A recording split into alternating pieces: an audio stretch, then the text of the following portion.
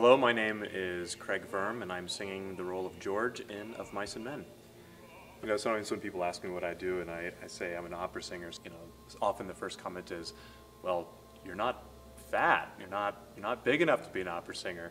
Uh, and so then, you know, then I get to have the conversation of starting to dispel the stereotypes. My favorite thing to do in my downtime is spend time with my family. I spend far too much time away from them. Um, and I have a five-year-old little girl and been married 10 years and spending as much time as I can with them as possible. You know, we have a saying uh, with my uh, colleagues that we don't get paid to sing, we actually get paid to spend time away from those that we love. And uh, it, it really couldn't be more true than that.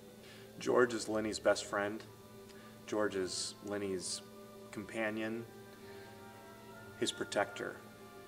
George is also the embodiment um, for Steinbeck of the, the large um, themes of hope, of friendship, and um, also um, how that revolves around lonely, loneliness. That really the only reason that George and Lennie are together is because of the incredible loneliness that they would face otherwise. George embodies, again, with this Steinbeck theme of, of belonging, and that George and Lennie want to belong somewhere, and they want to have something of their own. They want to, they want to have ownership. It's kind of that American dream thing.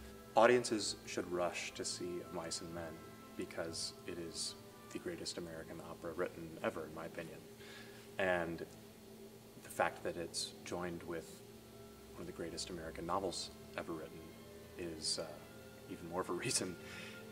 The music draws you in, the story draws you in. It's easy to listen to, it's very easy to follow. I just hope that audiences will be completely swept away and uh, you know, as with any tragedy, you, you just hope that there won't be many dry eyes in the house at the end.